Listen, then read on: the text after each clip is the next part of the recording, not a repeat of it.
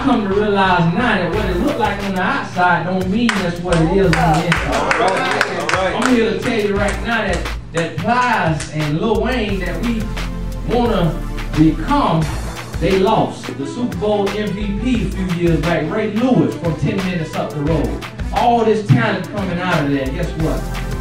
I can barely feel any of them in the community.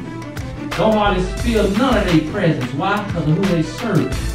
Because the devil done tricked them into Maseratis and Maybachs and Mercedes Benz and a different woman every night, at least the ones that I know.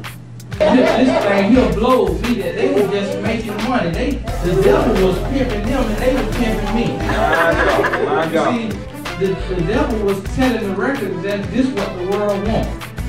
So he was taking and opening up doors for, for young men and young women to get in this industry of this music where the women selling their body, they half naked on the TV, and ain't nobody respecting them, and the young men telling them that.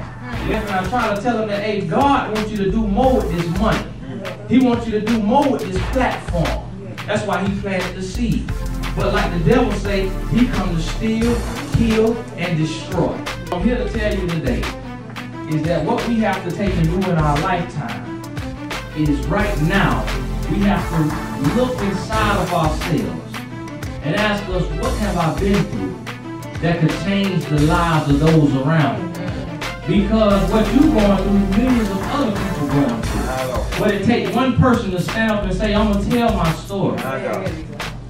And recognize where the weeds at. I saw these young girls up here singing, and the other one playing the keyboard. Those are gifts, and God say that your gift will make room for you and bring you before great men.